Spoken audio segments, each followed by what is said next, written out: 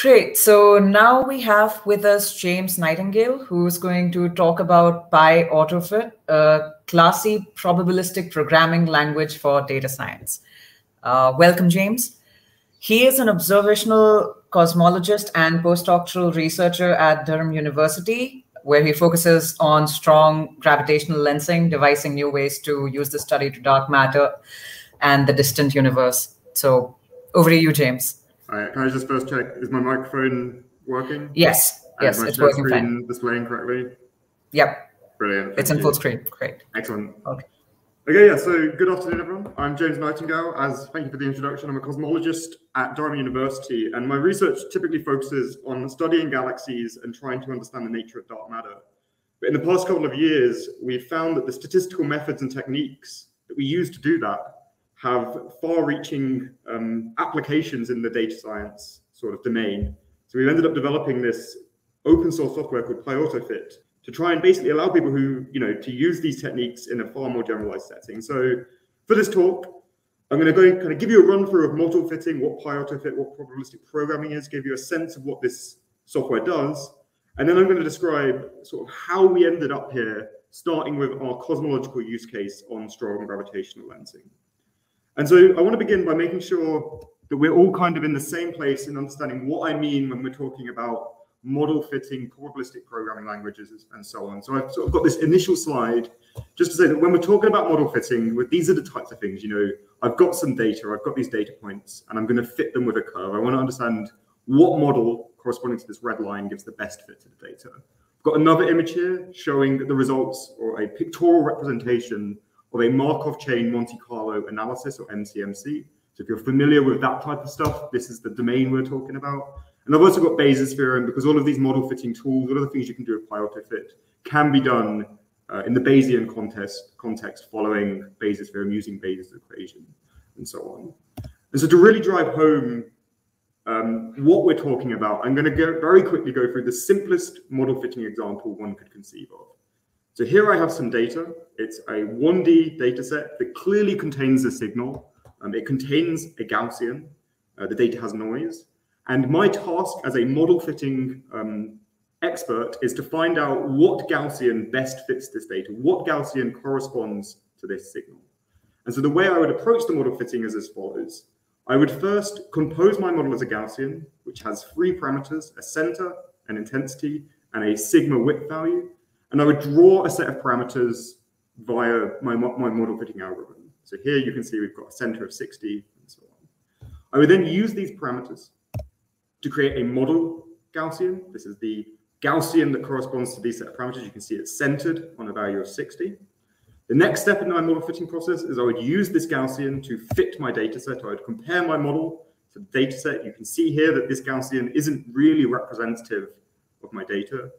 I would subtract the two from one another to get residuals and define some sort of a figure of merit or likelihood function that quantifies how well this model Gaussian fitted my data. You can see here it's not done a very good job. The residuals or chi-squared values are very large. And I would then repeat this process using some model fitting algorithm or what's called a nonlinear search. And this nonlinear search would guess lots of values of parameters, and eventually it would find a solution that gives us the highest likelihood and indeed tells us what, um, what the Gaussian parameters of this data set corresponds to. Um, so this is all very simple. It's all very, um, you know, hopefully you're following. But I wanted to really start at the beginning so we're all on the same page about what probabilistic programming languages do and therefore what PyAutoFit does. Um, so what is a probabilistic programming language or PPL for short? Well, these are basically, you know, software packages or frameworks or statistical inference libraries that make it straightforward to compose a probabilistic model, i.e. the Gaussian I just showed you, and fit it to data, i.e. perform inference automatically. Um, so people who are familiar with this type of um, uh, software will know of many PPLs. Some of the most popular are PyMC3, Stan. There's many that focus on more sort of machine learning, deep learning techniques like Pyro. And each of these probabilistic programming languages, they're all suited to different problems. They have different core features. Um, so they have strengths and weaknesses. So there, there is a question here. Why have we ended up developing our own PPL um, to do astronomy when there already exist some of the biggest open source projects on Earth? And the reason we think we've done this is because we've actually found that the type of statistical inference problems, the type of model fitting challenges that we face in astronomy and cosmology, and we're learning in a wider setting in data science, there were problems that existing PPLs weren't really suited to. Um, so I've listed a couple of examples here. In astronomy, we have these large homogeneous data sets, you know, images of thousands of galaxies. And all we want to do is fit those images one by one in a sort of identical homogeneous fashion. And we just want tools that make doing that straightforward, that make it straightforward to process the large libraries of results and then do our science, do our study. Uh, another example is in astronomy, we often have these very expensive likelihood evaluations, and our model fits can take days, if not months, to run. Whereas a lot of PPLs, you typically, you know, it takes a minute to run, and the challenges you face with those PPLs are very different. And so AutoFit has lots of tools for customizing how the model fit is performed, as well as doing this in the context of massively parallel computing. And we also have a need to fit each data set with many different model models and streamline model comparison, uh, use Bayesian inference to determine what the best models are, which again isn't something that's typical of a lot of PPLs. So the way we sort of concisely describe this is that PyAutoFit is this highly customizable model fitting software for big data challenges in the model, many model regime. And I'll explain how PyAutoFit can be used in a second. But first, just to get the um, you know get the the links and whatnot out the way. PyAutoFit is obviously an open source project. We're developing it to do cosmology. We want as many people to use this as possible. Um, we have a GitHub, a Redux, all the things you'd expect. If you're interested in this type of stuff, check it out. They're, they're listed on the schedule page. And to really drive home how we want as many people using this as possible, um, we have written a Jupyter Notebook lecture series, which for our students at Durham, we give them, we use this to teach them about statistics, about model fitting, but these are publicly available. So anyone who kind of wants to get into this domain, wants to learn how to kind of do this type of model fitting, you should absolutely check them out. They're on the Read the Docs. Uh, they can be done on Binder. Um, and you know, we're having we're getting very good feedback that these are sort of a great introductory way for someone to get into Bayesian inference, statistics, model fitting, and so on. Okay, so now let's look at how we would actually use PyAutoFit using what we call our classy interface. And so to demonstrate how one would approach model fitting in PyAutoFit, I'm going to use the same example problem I just showed. That is fitting data that contains the Gaussian with a Gaussian. How would we get PyAutoFit to find the parameters that correspond to this red curve? And in order to set up a model fit with PyAutoFit, you basically have to undertake three steps. It requires you to basically write three Python classes. And so the reason we call this classy probabilistic programming is it's heavily built into the Python class data structures. So first of all, we need to write our model as a class. Uh, this is an example of what we'd write. So we'd call the class Gaussian because this is the model component we're going to fit.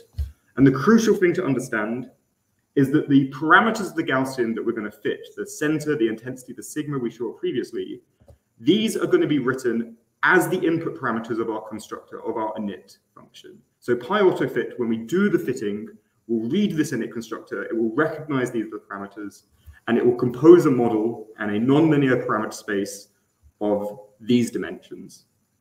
So that's the first thing to understand of the API. The other nice thing about using Python classes is, of course, you can extend this Gaussian class with functions and uh, tools that do the things you need it to do. So this function will allow us to create the model Gaussian that we compare to the data. And we're about to use this function to perform our model fit. So this is the first of the three classes we need on model. The second thing we want to write is an analysis class. So this is where our data meets our model and we fit the data with the model in order to get our figure of merit, our likelihood. So the analysis class has two inputs. It's got another init constructor. Here is where you put your data, your noise map, anything you need to do the model fit can be put here. And then alongside that, you define your log likelihood function. This is the function that takes an instance of the model and fits it to the data and returns the likelihood. It tells AutoFit how well that model fitted the data. So the, the black magic, the crucial thing that AutoFit's doing is that this instance that comes in, as we can see, is an instance of our Gaussian class. And the value of its input parameters, which we saw were here, have been set by our model fitting algorithm, our nonlinear search. So if we're doing a model fit that has priors AutoFit will take care of all of that behind the scenes, and now you just you to just focus on writing how the actual likelihood is computed. So we have our model, we have our analysis class. The final thing we need to do is to basically put all of these together to perform a fit. So we compose our model, we say AutoFit, create me a model of a Gaussian. We create our analysis, we create, pass it the data, which we've already loaded. We now choose on nonlinear search. So I've chosen a Markov chain Monte Carlo MCMC fitting algorithm called emcee. It's very popular in cosmology, but we of course have many of the SciPy maximum likelihood estimators. We have Bayesian inference tools, and sampling, if you've heard of that. And by passing the model and analysis to this emcee, we perform the fit and we'll get the result, which corresponds to the red curve. It gives us the Gaussian that fits the data. Uh, and just to really emphasize, this result object that you get from AutoFit it has everything you would need to kind of interpret and inspect how well the model fitted the data. So it has the best fit red curve, but it also has tools for error analysis. It has all of the parameter samples of your nonlinear search. And it also has visualization tools for creating these sort of probability distributions. So you can see here that the value of center equals 50, the input value corresponds to high probability when we visualize it in this way. Okay, so that's nice. You know, it's straightforward to compose and fit a model in, auto, model in AutoFit, but at the moment, it's not clear what this library is allowing one to do that you couldn't do with another PPL, or indeed just kind of write the Python code to do it yourself. It, it makes the process easier, but there's nothing overly compelling about this yet. So now let's start to look at how AutoFit makes it straightforward to customize different aspects of your model fitting. Uh, and this is where the use of Python classes really starts to come into its own. So this has downsides, of course. Python classes are a bit of a less concise interface. It requires a basic understanding of Python classes and object-oriented programming. But as I said, it really allows us to build a far more customizable model fitting experience for the user. And so here's an example of how one would customize the model. So in this example, I don't want to fit one Gaussian to my 1D dataset. I want to fit two Gaussians, which you can see I've instantiated here. And in order to do this, I just create the Gaussians, and then at the end, I combine them in an AutoFit collection object. So this is the beginning of how we're going to start building models of more complexity in AutoFit by combining individual model components. But along the way, I take a number of steps to customize the model that I ultimately fit. If I'm doing Bayesian inference, I can manually set the priors on each parameter, which is shown here. Um, I might know that the sigma value of a Gaussian is 0.5. Let's pretend I knew that. I can just set that to a float, and this will then automatically have PyAutoFit reduce the dimensionality of parameter space by one, and all of my model fits will have this value for this Gaussian. Uh, along the same lines, I could link two parameters in the model. Here I make my two Gaussians centrally aligned with one another, again reducing parameter space's dimensionality by one. And I can do other things like make assertions. We have sort of lots of tools to customize the model fit specific to what you what you specifically need to do for your specific problem. The other nice thing about the model API is having now seen that we use Python classes to define our model components, you can imagine that if you've got a problem where there's lots of slightly different models you want to fit and compare, the API naturally allows you to do this. So here I've got two more examples of 1D profiles. There's a Gaussian kurtosis class, I've just added an extra parameter to Gaussian. And you could also imagine maybe I've got one dimensional exponentials. So if you've got these problems where the sort of the model can be broken down into these different pieces and you often want to compose a model by sort of building them up, up together like Lego, this is the sort of API that this software really tries to facilitate. We also have a lot of customization on the analysis. I'm only going to show one example here, but it's pretty cool. So if in your analysis class, you add a visualize function, this will allow you to have PyAutoFit output the current results of the best fit model on the fly. So I've told this visualize function to output the images I've been showing you, that is via matplotlib, output a one-dimensional schematic of how well the model fits the data. And when I'm fitting models for cosmology that could take months on a supercomputer, having this tell me after a couple of days if the model is working or not can save me months because I can stop that from running by getting this immediate feedback. And on this line of customization, there's lots of customization for the actual nonlinear search itself. All of the libraries we support, you can customize their input parameters. And we also add functionality on top of these libraries. For example, for those familiar with Markov Chain Monte Carlo, we have inbuilt tools for autocorrelation analysis. And we're just trying to basically add value um, to these libraries if one adopts PyAutoFit to undertake their model fitting problem. And so I'm about to talk about the astronomy, but I just want to quickly sort of list some of the advanced features that are a bit too technical, a bit too detailed to discuss in a talk like this, but at least allude to the sort of things one can do with AutoFit if you, you know, if you really start to go into, um, into it. And so one that I really want to highlight is our support for outputting results into a database. So you can output the results to hard disk. It will create an ordered folder structure that you can navigate with your mouse. It's all quite nice. But that works if you've got 10 data sets. If you've got a very small amount of data sets, yes, that will work. But we are fitting thousands of galaxies with hundreds of models. Our results correspond to hundreds of thousands of entries. So we had to develop an SQLite relational database that basically streamlined the management interpretation of these results. The, the basic model is as follows. As you do your model fits of AutoFit, all of the results are automatically written to an SQLite database. You can then load this via a Jupyter notebook you can query the database for the results you care about, and from there begin to investigate how your model fits when, what the results are telling you. And all of our sort of result API, the visualizations I showed earlier, they're all built around this kind of database Jupyter Notebook API. Uh, there's also lots of advanced model fitting techniques that I'm not going to cover, but basically these are sort of very bespoke statistical methods that in certain problems could be really, really useful. And the one I'm going to briefly mention is we had a problem where a nonlinear parameter space was so complex, it was so difficult to fit, we could not do it efficiently. So we built a nonlinear search of grid searches that basically carved up the dimensionality parameter space over a couple of dimensions and then fitted those reduced parameter spaces in a massively parallel fashion. It's a bit of a weird thing. Probably don't want to do it too often, but if you do want to do it, it's a really powerful tool to overcome the sorts of problems you often face with these types of models. We have other tools and I don't have time to talk about that. These are fully described on the read the docs under the features tab. Okay, so that's AutoFit. That's the type of model fitting that we're trying to do. Um, hopefully you've got a sense of what this library is about. And I now want to kind of describe how we got to AutoFit from our initial cosmology use case. Um, so you get a sense of the, I guess, the actual application that drove this, and it might sort of ring some alarm bells in the sort of things that you do. And so to do this, I obviously first need to explain to everyone what strong gravitational lensing is. And so most astronomers, when they study galaxies, they look at things like this. This is a galaxy um, in the Milky Way. The typical astronomer, you know, you get your favorite telescope, you point it at a galaxy, you get an image like this, and then you would perform model fitting on this image to, you know, study your particular scientific interest. Strong gravitational lenses are a very unique phenomena where instead of observing one galaxy, you observe two galaxies perfectly down our line of sight to Earth.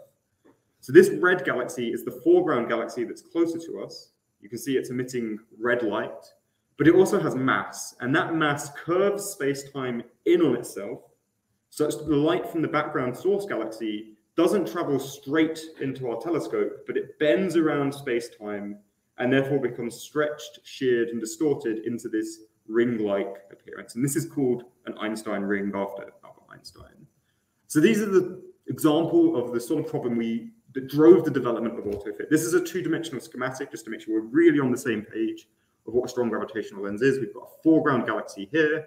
It's curving space-time such that the red light of this background source travels in this curved traversal around into our telescope. And this actually means the background source appears multiple times, as seen here. So just, you know, if you're interested in astronomy, there are galaxies that we genuinely observe more than once due to this phenomenon. We see the same object in the universe multiple times.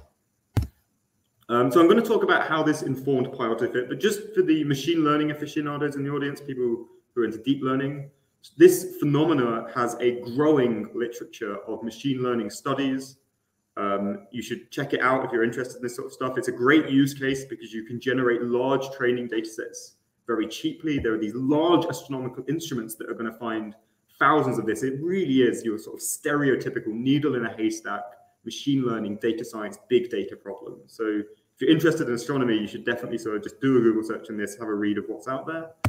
Uh, I'll obviously say that I develop an open source library that does this analysis called PyAutoLens. So Google PyAutoLens if you're interested. It's all the same. It's this is what ultimately led to us developing AutoFit. Uh, and again, we have all these Jupyter lectures, so if you want to get into this, check them out. Um, okay, so that's enough shameless plugging of my other software. Let's get back to the science. What drove the development of AutoFit? What was it about these strong gravitational lens systems that are, you know, pushed us in the direction of making this open source statistics library? And it's basically how this phenomena makes one think about model composition, in particular, multi-level model composition, something that I haven't yet touched on in the earlier descriptions in this talk. So when I look at a strong gravitational lens now, I don't look at a pretty picture and think, wow, that's that's an awesome thing we've seen in the universe. I think about how it decomposes into distinct model components that I want to then fit. So I have a strong gravitational lens here, and my sort of my scientist brain says, well, there's a foreground galaxy, this has a set of model parameters associated with it that I want to learn. There's a background source galaxy. This has another set of parameters associated with it I want to learn. But then I sort of I break the model up further. I say, well, this lens galaxy, it doesn't just have um, one model component. It has a model describing its emission, so a light model. And it also has a separate model that describes its mass. And this is what sort of defines how the light in the universe is curved. Conversely, my background source, it only has a light model. I don't need to know anything about its mass. So this type of problem, it sort of forces you to break the models you imagine into these sort of distinct components that have multiple levels. And it's with AutoFit that we now are going to try and construct a multi-level model according to this schematic. And so the lower levels of this model, we can use the exact same API that I showed previously for the Gaussian. We write model components. Uh, this is an example of a light profile. These are the input parameters that would describe the light of a galaxy. We can attach functions that we use to fit the data, which are shown here. And again, with AutoFit, as I sort of alluded to before, we can write other Python classes with a very similar format, a very similar API describing the mass of galaxies and the light galaxies. This is where we got to with the Gaussian before. But we have a slightly different problem now, because now we want a multi-level model that doesn't just have light and mass profiles, but has distinct model components describing these galaxies that may have their own parameters. We need to basically use Python classes to construct a multi-level model. In particular, we need to use hierarchies of Python classes to build models that go up and down. And this is where I think the, the real compelling aspect of the PyAutoFit API comes in. So this is another Python class where we've now written a galaxy object. And the crucial thing to understand is that the inputs of its init constructor are themselves lists of the model components I just showed you. So PyAutoFit will see an object like this galaxy. It will understand that its init constructor contains other PyAutoFit model objects, and it will use this hierarchy of Python classes to construct a multi-level model.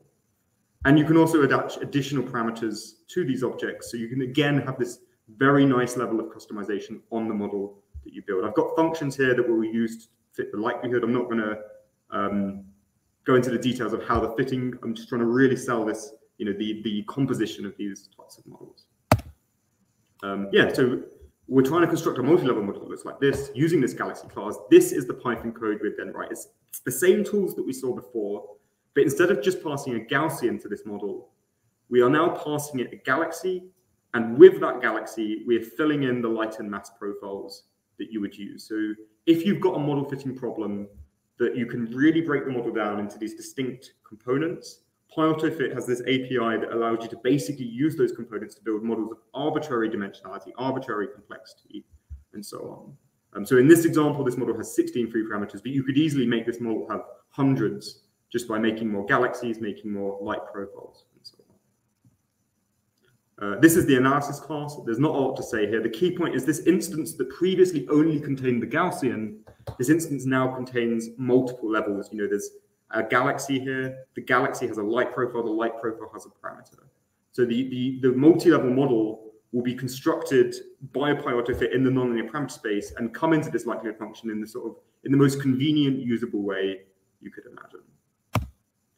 Um, and just to sort of, I'm wrapping up now, just to sort of try and sell why this is so compelling in certain problems, we then had a data set where we had an object that was like this, which is called a galaxy cluster. This has hundreds of galaxies.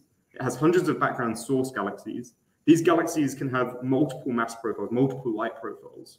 But because we designed the composition of models in the way that I just described, we could compose and fit a model to this without having to write any more source code. The PyAutoFit API was extensible such that we could fit models of any nature given this new data set. So that's really what we're going for. We're trying to create this model fitting library that compels one to design their model fitting problem in the most object oriented way possible so that you can then build and fit these models in a fully extensible way. So this is the summary. I've timed myself at about 25 minutes. Um, I'll quickly mention we have a whole other use case to do a study in cancer that I've not had time to talk about today. Um, but yeah, absolutely check it out if you're interested in this thing. Thanks for listening. Um, yeah, I'll stop there.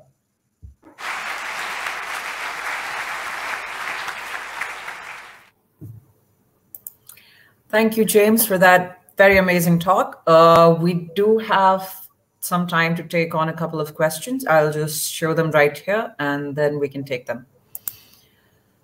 For someone who is new to probabilistic programming, what does intensity signify in addition to mean and standard deviation?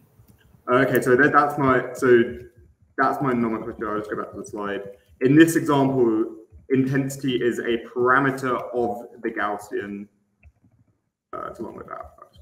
Here it is. So in this sense, the intensity is basically the normalization of the Gaussian. It's one of my three model parameters that in the way I've chosen to parameterize a Gaussian defines how high up this red curve goes. So if I doubled the value of intensity here, the Gaussian, the model Gaussian I'd create would be twice as high as pictured here. So it doesn't signify, it's not like a mean or a sigma or a width half maximum. It doesn't really signify anything meaning in the context of a Gaussian.